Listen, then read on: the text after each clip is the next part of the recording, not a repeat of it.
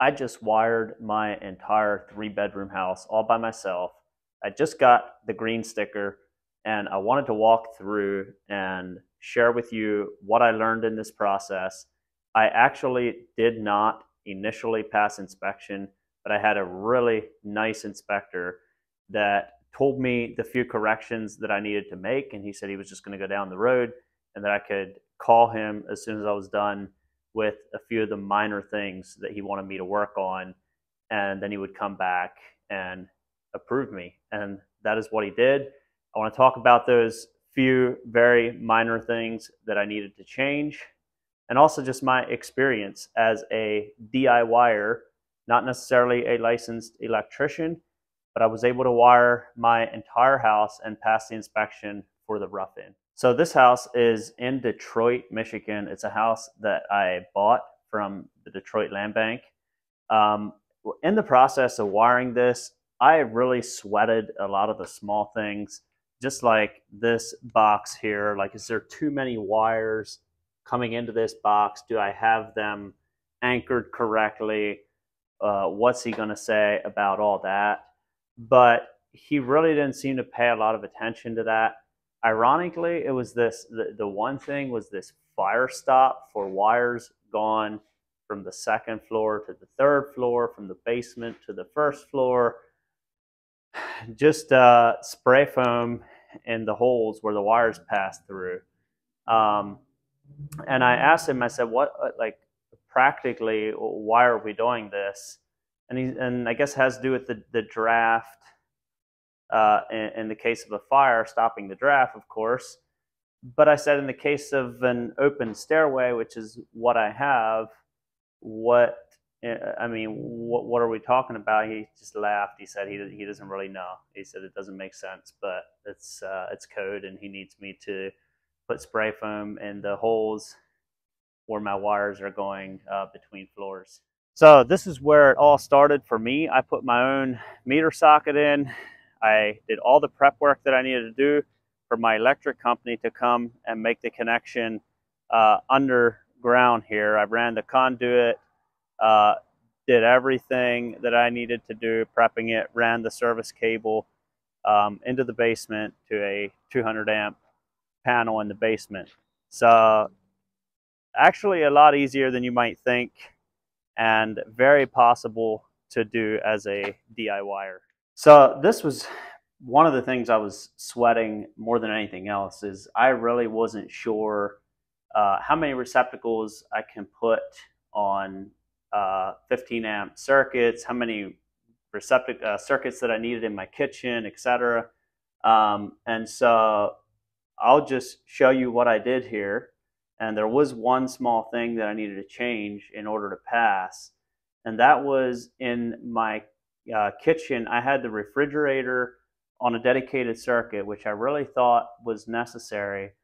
Um, and then I had one 20 amp circuit for all of the countertop receptacles. Um, and he wanted to see two circuits on the small appliances and countertop circuits, uh, or countertop receptacles, sorry. And so he basically just asked me to tie one of the countertop receptacles into the refrigerator circuit so that I had two 20 amp circuits feeding the countertop receptacles. Um, and it was easy enough to change. Um, I, you know, one of the countertop receptacles ended up being really close to the refrigerator, and so I just took from the refrigerator circuit right up into that, and I was good to go. Uh, but apart from that, everything I did right here in the panel passed. He didn't ask too many questions about anything. Uh, and basically, what I did uh, upstairs, I have a 15 amp circuit for every single bedroom, and I knew that that was gonna. I, I knew that I wasn't gonna have any problems there.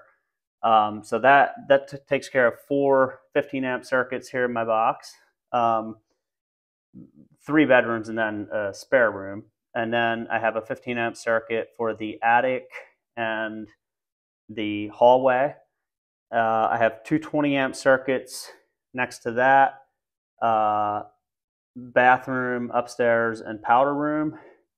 And then these two down here are just uh, to uh, as a 20 amp and a 30 amp double pole for mini split heating and cooling that I'm doing.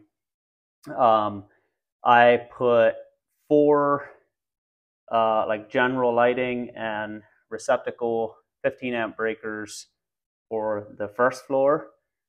Um, I have a smoke detector receptacle that's tied into my basement lights um, because they say that you should put uh, some lights onto that receptacle or uh, sorry onto that circuit so that you know if there's a problem with that circuit.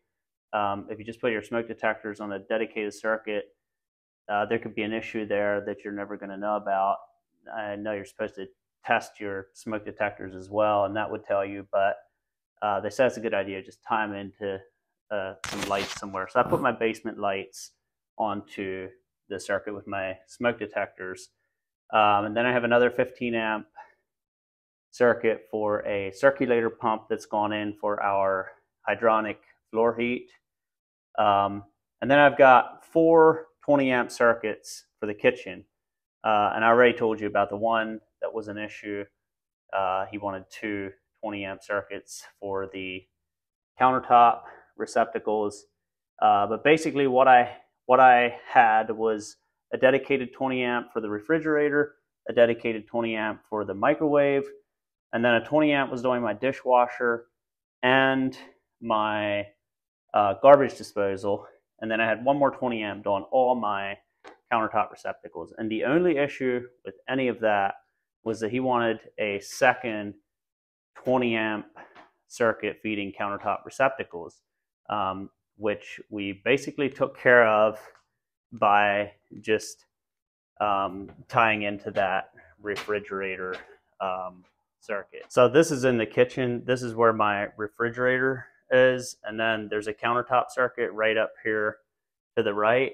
And he basically just asked that I take this uh, countertop receptacle and it worked very well because it was the second to last in line. I have another one that was tied into that down here, uh, just on the corner of the kitchen, but it's kind of the only other receptacle in the kitchen. I just had put that in there with it. So he basically just asked that I take this receptacle and this one countertop receptacle and tee off into the refrigerator uh, circuit. And then he was good with all of that. For the rest of the kitchen, um, there's a number of countertop receptacles all tied into that one 20 amp circuit. He was good with all that.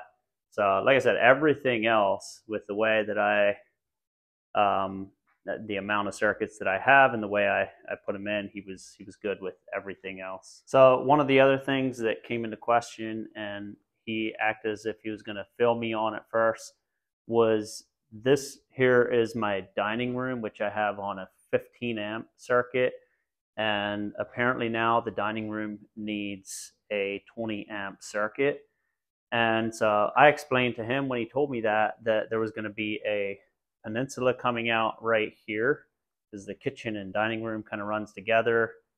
Uh, if you if I step back here, you can see that is basically kitchen and dining room.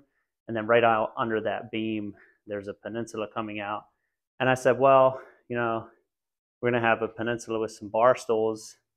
This kind of counts as a dining area. Right in here, I have a 20 amp circuit. And uh, he was like, ah, yeah, okay, okay. So he, he left that go only because um, I said that that was, you know, that should count as a dining area, and I have a 20 amp circuit, and so he, the inspector, was okay with it at that point. Um, but for the future, I would run a 20 amp in the entire dining room area. Apparently, that is, I was just completely unaware of that, but apparently that is code now.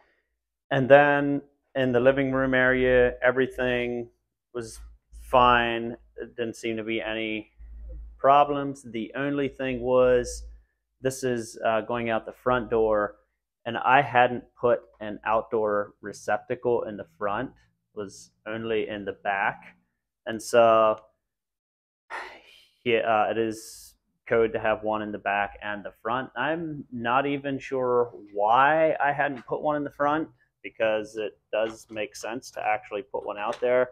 And so he just asked that I add a receptacle in the front, and I just tied right into the circuit that was running right past there with the outdoor uh, lights being right here and then it was coming right down around there and I just tied right into that and just brought my wires right out here and I was able to do all that while he went and just uh, waited on me. I, I, don't know what he was doing, but um, he just took off for a while until I was able to make those changes. Another area that I was very uncertain as to whether he was going to be okay with everything was on this these closet walls where they uh, built the closets with the uh, the studs turned the opposite way, so inch and a half walls. And so I use these 13 cubic inch boxes um, that end up being a little crowded with wires when you actually have three wires coming into it and I wasn't sure if that was going to pass. I tried to do some research as to how many wires you can take into a 13 cubic inch box, and I was really concerned that that was going to be an issue.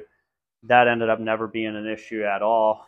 The stud guards here I was concerned about because on these walls, I had to take two of these and just put them beside each other vertically, and I wasn't sure if I was supposed to be getting a bigger metal plate to cover that all up, uh, but that ended up not being an issue at all. Um, again, a lot of the small stuff that I sweated really was not an issue. So overall, this was a great experience. I would totally do this again. I could have hired an electrician, and I'm sure they would have done it faster. Um, I did save myself a lot of money, even though it took me longer to do this myself, of course. Um, and I learned a lot along the way. Um, it did come with some headaches and some uh, frustration along the way, uh, just trying to figure some of it out and trying to decide exactly how to run certain things. But in the end, I know exactly what's behind my walls. I know exactly how everything's done. I'm super glad that I decided to do this all by myself. I would totally do it again. Uh, I, I love the experience. I love to learn new things. And so um, hopefully this can be encouragement for you to go and wire your own house.